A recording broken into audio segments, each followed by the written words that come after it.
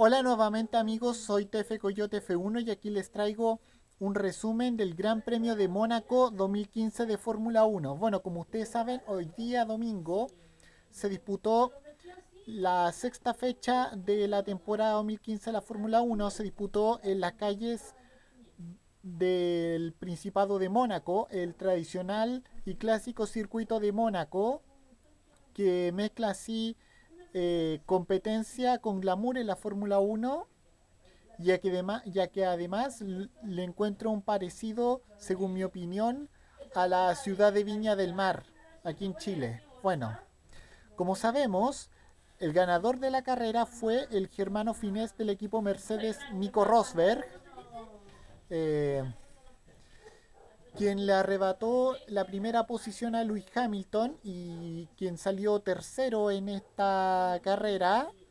Eh, como sabemos, Lewis Hamilton salió tercero y quedó bastante enojado eh, con el con quedar tercero.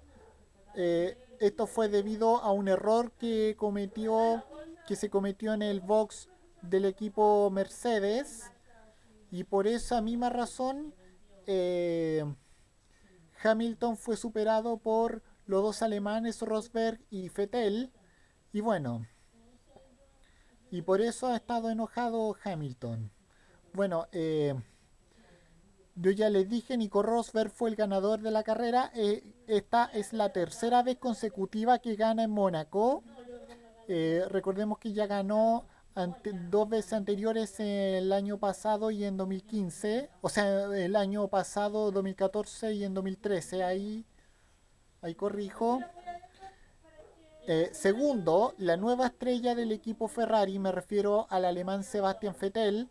Eh, como sabemos, Sebastian Vettel terminó en segundo lugar.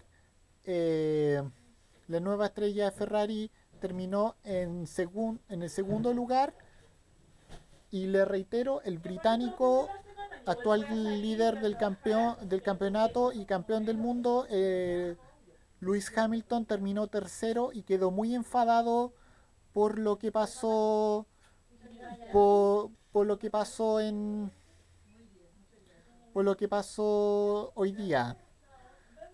Y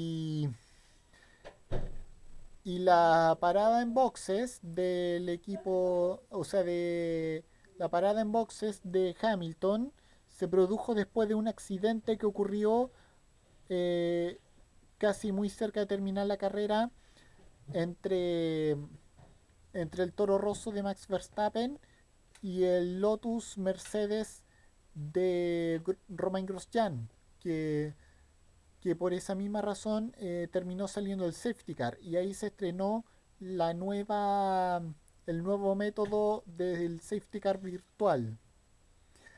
Y bueno decirles que además el que además la próxima carrera de la Fórmula 1 se disputará en Canadá ahora se va a América y se correrá en Canadá en Montreal en el Circuit Gilles Villeneuve y será eh, la segunda semana de junio. El segundo fin de semana de junio. Bueno, con esto cierro este video. Nos vemos en otro. Soy TF Coyote F1. Adiós, que fuera. Chao.